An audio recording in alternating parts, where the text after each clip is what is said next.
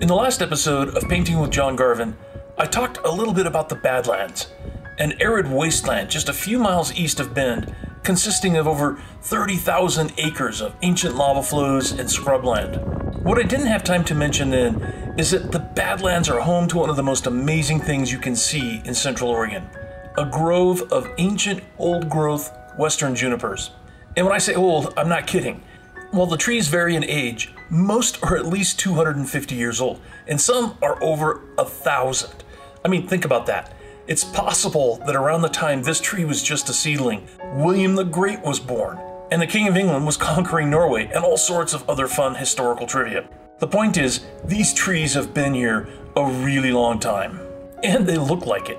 The older trees are half dead with tiny twigs of green buried beneath masses of weathered husk, evidence of centuries of blizzards, wind, and lightning storms. They really are some of the most amazing and beautiful trees in the entire world, which is why I want to attempt in my next painting to capture some of this ancient majesty. I'm going to call it Life in the Badlands.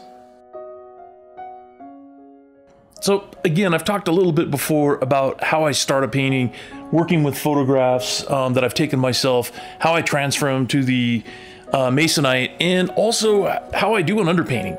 So, I only wanted to talk about this one just a little bit. It's already completely dry. Um, is this is actually more like a still life than a landscape, which is why there is so much detail in the drawing and in the underpainting, because I normally work a lot more abstractly at this stage. Um, but because the structure of this ancient juniper is just so interesting, I wanted to make sure that I got the dead branches, the branch where the moss is growing, um, and just the overall shape and texture of of this image. Um, I wanted to make sure I got it right. So I'm really looking forward to starting this painting, and uh, let's see how it goes. For this painting, I'm using a very simple palette, alizarin crimson, cadmium yellow medium, French ultramarine, and titanium white. I start by mixing white and a touch of blue and begin working over the sky. This is an example of where I probably should have left this white in the underpainting, because the gray I used is just too dark. It will take a few coats to make the sky bright enough. Then I add just a touch of red and blue to cad yellow and mix a warm pale color for the background. At this point, my goal is to get all the light colors laid in first. I realize that I'm going to need some grays in the palette as well. So I add Portland Gray Medium to mix the darker areas of the ground, the detail in the trees, and the distant background shrubs. One of the things I love about working with this limited palette is it allows you to mix a really rich brown just using red with a bit of blue and yellow. Here I'm working with thin washes that allows the well-defined structure in the underpainting to show through. These are only the first layers of paint that I'm going to need to capture this ancient tree's rough bark and texture. I add a little Payne's Gray to the palette so I can get these really dark shadow areas to pop out. I really want the tree to stand out against this busy background. Then I start working out detail using a whole range of lighter reds, browns, and oranges. Now that I have some darker, richer colors laid in, I go back to the ground and begin to define these clumps of sage. It's at this point that I'm beginning to realize that I might have a problem. That this is going to be trickier than I thought, trying to get these background shrubs to have enough detail to be convincing without competing with the juniper. Next, I decide to tackle the lichen that's made its home along these dead branches. This is the painting's focal point and where it gets its title, Life in the Badlands. I use cad yellow with just a hint of blue and red to get this rich yellow green and go in lightly, not wanting to cover up the heavy impasto texture that I had built up in the underpainting. Making the lichen look convincing will take a lot more work, but it's far enough along at this point that I'm pretty sure I can pull it off. Then I begin adding detail, refining branches in the canopy, twigs and stems in the lower areas, shadows and details to the larger branches, and more detail to the clumps of needles in the background. Again, this was going to prove to be a challenge. Here, I'm adding in too many dark masses of color, blotting out too much of the sky. I'm gonna have to come in later and open this all back up again. Then I start working on the foreground details, like these large clumps of needles on the left. And here, unfortunately, is where the painting begins to go south in a hurry. I really liked how these simple brushstrokes suggested needles with very little work, so I started adding them everywhere along the bottom, hoping I could use them to get away with painting less detail in the sagebrush behind them. The only problem, it would turn out later, is that none of this was in my photo reference or the underpainting. But I'll come back to this.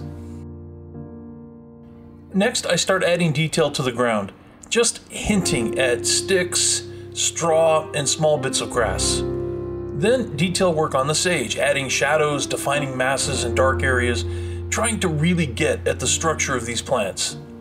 Finally, using a lighter, warmer gray, I add detail to their tops, allowing me to get more separation between them as they recede into the background. So this is the point where I realized I had a real problem. That whole area between the lichen and the tree trunk had become kind of a mess. The twigs and needles in the foreground were lost among all that background sage, which were all the same value and color. Worse, the whole painting had sort of flattened out. I, I literally stopped and asked, What have I done? Why hadn't I followed the photo reference or the underpainting? At this point, I didn't even know if the painting could be salvaged. So I decided to put my brushes down for the night and I'd come back at it in the morning with fresh eyes. So here's what happened I got up in the morning so eager to attack this problem that I forgot to turn on my camera, and I just started painting.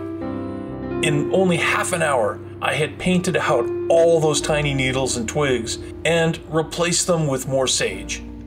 This was such an improvement, creating great separation between the juniper and desert background, and adding a real sense of depth and space, as we could now see the sagebrush getting smaller and less detailed as they receded to the horizon, which, adding just a hint of horizon, also helped by giving the whole image a better sense of scale. This change also allowed me to add more color with these warm, soft yellows replacing all those masses of black and gray. Overall, I was happy with these changes and I could now get to work on finishing the painting. At this stage, it's all about refining and detail work. I start by going in with an even lighter yellow to add more sense of sunlight hitting the desert floor behind the juniper. This also helps define those bits of sage in the distance. Then I add more flowers to the sage, more detail to the lichen, which is starting to feel finished, more detail to the distant branches and needles, and more detail to the foreground, adding some pop to these clumps of needles. And finally, I add my signature. I always try to leave a spot in one of the lower corners free of detail, knowing I'm going to sign it there. And with that, the painting is done. So, how did it turn out? Um, I'll leave that up to you guys.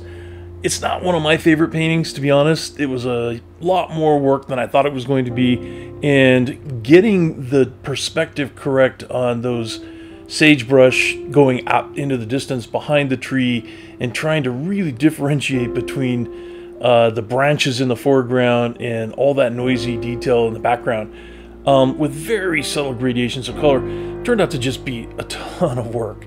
And honestly, I'm not sure how successful it is, but um, I'll do better on the next one. So I could noodle on this again for for weeks and weeks, but I'm not going to do that. I'm going to call this one done. So that's it for this episode. If you liked it, think about subscribing, hit that like button, and please do leave a comment. And I'll see you next time.